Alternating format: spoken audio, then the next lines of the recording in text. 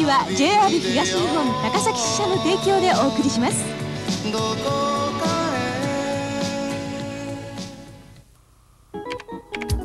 ねえねえ。今度の旅行泊まるとこどうしようか。はい。JR の駅にご相談ください。JR? 宿の予約は駅でどうぞ。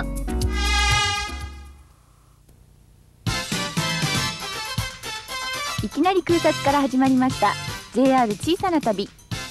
今週は群馬県の表玄関にもあたる高崎からお送りします。高崎市のシンボル薬医大観音。それにあのカッパピアの絶叫マシーン。神秘的な洞窟観音。そしてグルメと温泉。何？高崎にも温泉がある？あったんですよ。今回は温泉グルメレジャーと高崎の旅を丸ごとご紹介します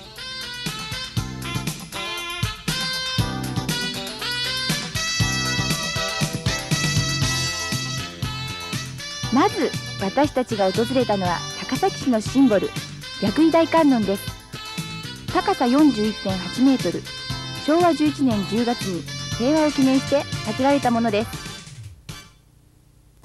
なんかトンネルみたいこれが観音様の体内よ。体内？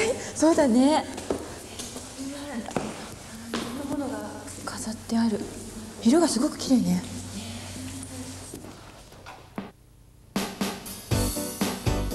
体内は9階からなり20体の仏像が安置されています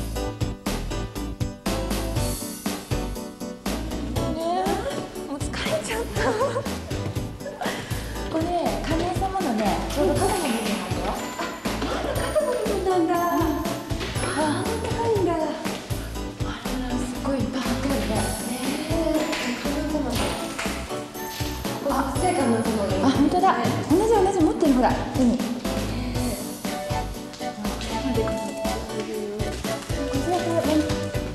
ここはちょうど右肩の部分。天気が良ければ素晴らしい眺めが望めます。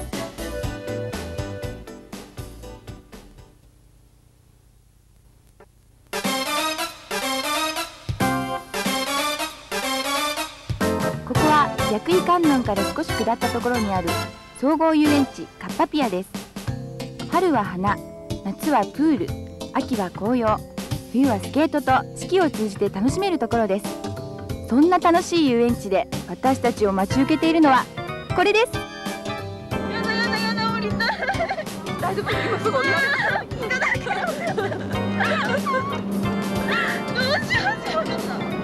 でしょ？う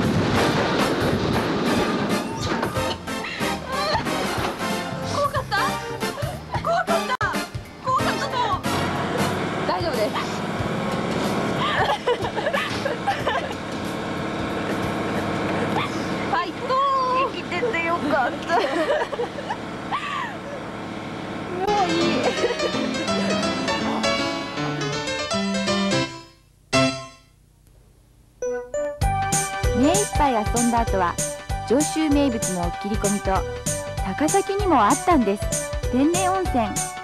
この2つを紹介しましょう。あー嬉しい。これがおっきり込みっていうやつですね。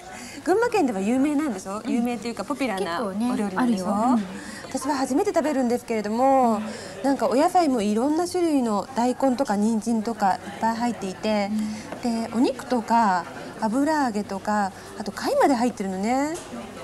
味噌仕立ててすごく美味しそう。なんか三つ葉乗ってるでしょ上に。香りがプーンとして。ねえ美味しそう。う。ん。あとご飯がこれが季節のご飯で四季で変わるんでしょ。で今回は豆ご飯ですね。あとこちらが煮込みの煮物という感じで。お芋が入ってる。美味しそう。特訓ですね。早速いいただいてみましょう。いただきますただきます。清水高専と呼ばれ地元の人々に親しまれていた高専宿がここ金山荘なんです。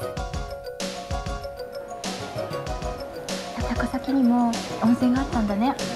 ねえ私もこんな近くにあるなんて全然知らなかった、大正のね初期ぐらいから大体高専を見つけて、それで最近になって始めたんだって、深い自然に囲まれた静寂の中でゆったりと湯に浸かり上州の郷土料理をお楽しみください。観音山の一部にこういうものもあったのね、洞窟観音っていうんだね。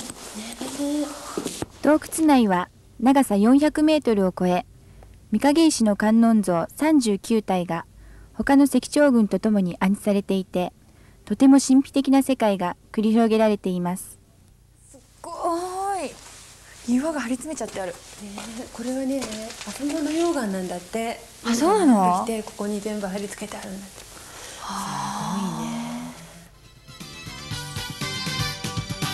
今回の旅はどうでしたか？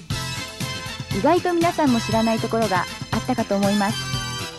歴史ありグルメあり温泉ありそしてレジャーありと楽しく回れる高崎の旅でした。皆さんもぜひこの高崎で楽しい一日を過ごしてくださいね。